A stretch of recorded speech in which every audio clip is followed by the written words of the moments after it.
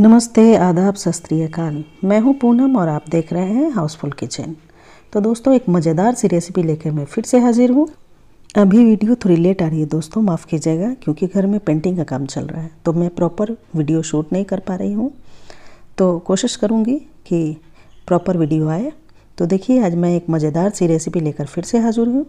बहुत ही टेस्टी ये आम के कुच्चा की रेसिपी है, जो बहुत ही जल्दी बन के तैयार हो जाती है और बहुत कम तेल मसाले में, और इसे धूप भी ज़्यादा दिखाने की ज़रूरत नहीं है। बस एक दिन में ही ये अचार बन के तैयार हो जाता है, और जैसे ही आप ये कुचा तैयार करोगे, वैसे ही खाना शुरू कर सकते हो। एक दिन भी वेट करने की ज़रूरत नहीं है, फटाफट ये अचार बना और फटाफट खाना शुरू। तो बहुत ही टेस्टी और इजी रेसिपी है। आप लोग ज़रूर देखिए और बनाइएगा, बहुत मज़ेदार लगेगा। और ये जो कुचा है ना, ये बहुत सारी रेसिपी में भी यूज़ होती है। जैसे करेला वगैरह की सब्ज़ी बनाते हैं तो खट्टा डालते हैं ना तो ये कुचा डाल सकते हैं। या फिर सत्तू पराठा, सत्तू वाली लिट्टी जो बनती है तो उसमें खट्टा के लिए ये कुचा डाल सकते हैं। तो देखिए, दो के जी मैं आम ली हूँ और आम थोड़ा टाइट होने चाहिए। तो देखिए आम को अच्छे से धो लिए हैं और इसका जो ऊपर का डंटी है, मुंडी, उसे चाकू से कट कर देंगे और छील लेंगे और छील के कद्दूकस से इसे कस लेंगे। तो देखिए, घिस के ये सारे आम के कुचा के लिए लच्छा तैयार कर लिए और इसी तरीके से आप लच्छे तैयार कर लीजिएगा। तो कद्दूकस से कसते समय ध्यान रखिएगा, हाथ ना कटे। और देखिए, यहाँ जो ये गुठली है, इसमें थोड़ा थोड़ा आम लगा हुआ है। तो आम के स्लाइस के साथ इसका खट्टा मीठा अचार बना सकते हैं। तो किसी और वीडियो में मैं ये आम का, गुठली का रेसिपी बताऊँगी। बहुत ही टेस्टी ये चूसने में लगता है तो आप लोग इसे ज़रूर बनाइएगा। तो चलिए दोस्तों, अब चलते हैं अपना कुच्चा के बनाने के प्रोसेस में। तो यहाँ 100 ग्राम मिर्ची लिए हैं, इसके डंटी को तोड़ के, धो के, पोछ लिए हैं और बीच से चीरा लगा के अब इन्हें भी इसी में डाल देंगे। तो मिर्ची को डाल देते हैं। अब इसे मिला लेते हैं। तो इसमें ये जब पकेंगे कुचा तो मिर्ची बहुत ही टेस्टी हो जाएगी। तो आप लोग इसे ज़रूर डालिएगा। बहुत ही जूसी बनता है। तो अब इसे एक बड़े बर्तन में ट्रांसफ़र कर लेते हैं ताकि मसाला मिलाने में आसानी हो। तो इसे अब रख देते हैं और चलिए, अब इनके मसाला तैयार कर लेते हैं। तो कुछ सूखी मिर्ची को ड्राई रोस्ट करेंगे। तो यहाँ पे सूखी मिर्च को ड्राई रोस्ट कर रहे हैं।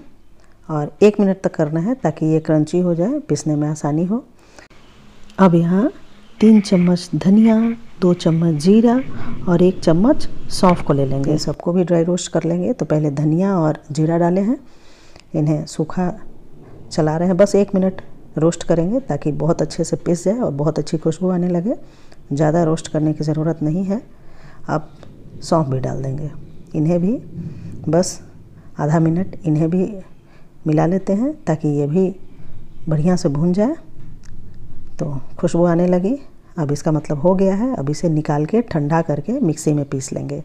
बहुत बारीक नहीं पीसेंगे, दरदरा पीसेंगे। तो देखिए, यहाँ मिर्ची ठंडी हो गई थी तो इसे पीस लिए हैं और यहाँ ये जो धनिया जीरा सौंफ था, इसे भी पीस लिए हैं। तो देखिए, इसी तरीके से दरदरा पीसना है ताकि कुचा में अच्छा फ्लेवर आए। तो चलिए, अब कुचा में इन सबको मिला लेते हैं अच्छे से। तो देखिए, यहाँ पे कुचा में नमक डाल रहे हैं। तो दो चम्मच नमक डालेंगे और यहाँ दो चम्मच हल्दी डालेंगे। इन सबको डाल के अच्छे से मिलाएँगे।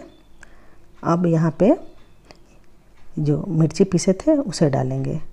तो ये कुचा थोड़ा तीखा ही अच्छा लगता है। चटपटा अचार हो कुचा हो, तीखा, चटपटा अच्छा लगता है। तो मिर्ची डालिएगा ज़्यादा ही।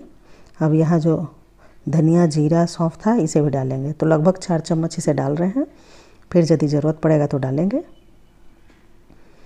तो डाल के अब तेल डालेंगे। तो थोड़ी मिर्ची कम लग रही थी तो एक दो चम्मच और डाल देते हैं। अब यहाँ गोल मिर्च पाउडर डालेंगे। एक चम्मच गोल मिर्च पाउडर है और दो चम्मच के आसपास ये जो जवाइन मंगरेल होता है, उसे डालेंगे। तो इससे खुशबू बहुत अच्छी आएगी और अचार में डालने से फ्लेवर भी बहुत अच्छा आता है। तो अब यहाँ सरसों का तेल डालेंगे। तो सरसों का तेल कच्चा ही डाल रहे हैं, क्योंकि अभी तो धूप में जाएगा तो तेल भी साथ में पक जाएगा। तो देखिए, इसी तरीके से डाल के मिलाइएगा। तो बहुत ही जल्दी ये अचार बन के तैयार हो जाती है। बस आज के आज धूप लगा और अचार आज से ही खाना चालू। अभी भी इसे चख सकते हैं, बहुत टेस्टी, अभी से ही लगने लगेगी। और जब इन्हें स्टोर करना है तो साल भर रखने के लिए थोड़ा धूप दिखाना ज़रूरी है ना, इसलिए एक दिन अच्छा से धूप दिखा देंगे। तो अभी तो इतनी तेज़ धूप कर रही है कि एक दिन में ही ये अचार तैयार हो जाएगा। बहुत कड़क धूप है। तो सुबह में ये कुच्चा में मसाला मिलाएँगे और शाम तक ये एक दिन की धूप में कुच्चा बिल्कुल परफेक्ट बन के तैयार हो जाएगा। तो देखिए, अब थोड़ा सा चख लेते हैं कि प्रॉपर नमक, मिर्ची पड़ा है कि नहीं। तो थोड़ी सी लेके चखेंगे। तो बहुत चटपटी तो बनी है, लेकिन थोड़ी सी मिर्ची और डाल देते हैं ताकि थोड़ा तीखा और आ जाए और चटपटा हो जाए। तो दो चम्मच यहाँ मिर्ची और डाल देते हैं।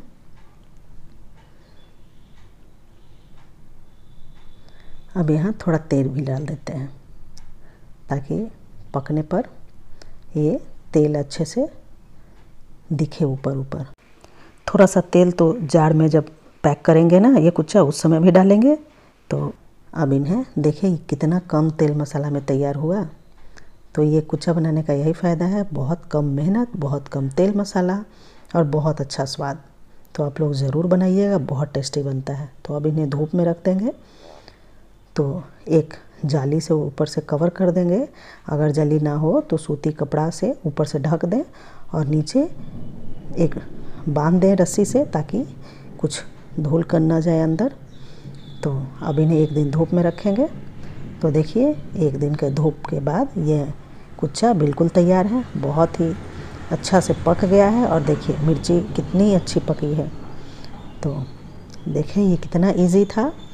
बहुत ही जल्दी आज के आज ये अचार तैयार हो गया और अभी से ही खाना चालू कर सकते हैं। बहुत ही टेस्टी बनती है। और रोटी, पराठा, पूड़ी, किसी भी चीज़ के स्वाद को ये दस गुना बढ़ा देगा। बहुत ही फ्लेवरफुल होता है तो आप लोग ज़रूर बनाइएगा। और इसे स्टोर करने के लिए कांच के मर्तबान में रखेंगे। तो ये जो जार है कांच का, इन्हें अच्छे से धो के सुखा लीजिएगा, ताकि इसमें कुछ भी नमी ना रहे। और एक, देखिए, यहाँ पे तेल गरम किए हैं तो गुनगुना तेल को ठंडा कर लिए। अब इसे जार में पूरे अच्छे से फैला देंगे। देखिए, इसी तरीके से अब इसके ऊपर हम अपना कुचा डालेंगे। तो साल से दो साल तक इसे स्टोर करके रख सकते हैं। इसमें कुछ भी नहीं होगा, बिल्कुल भी ख़राब नहीं होता है। और टेस्ट बिल्कुल ही इसी तरीके का रहेगा। जैसा आज है, वैसे दो साल के बाद भी बहुत ही फ्लेवरफुल ये रहता है। तो जब भी धूप दिखाएँ तो इसी तरीके से कॉटन के कपड़े को ऊपर से बाँध दें और धूप में एक दिन रख दें। तो ये कुच्चा सालों साल चलेगा, कभी भी ख़राब नहीं होगा। और बहुत टेस्टी लगता है, बहुत सारी रेसिपी में भी यूज़ होता है तो आप लोग आम का सीज़न है, ज़रूर बनाइए। और बताइएगा आपका कुच्चा कैसा बना। दोस्तों रेसिपी पसंद आई हो तो लाइक कीजिएगा चैनल को सब्सक्राइब कीजिएगा और कमेंट करके बताइएगा, ये रेसिपी आपको कैसी लगी फैमिली फ्रेंड के साथ शेयर भी कीजिएगा। और पूरी पराठा, चावल, किसी भी चीज़ के साथ खाइए, स्वाद दस गुना बढ़ जाएगा। तो मिलते हैं अगले वीडियो में, तब तक के लिए टेक केयर बाय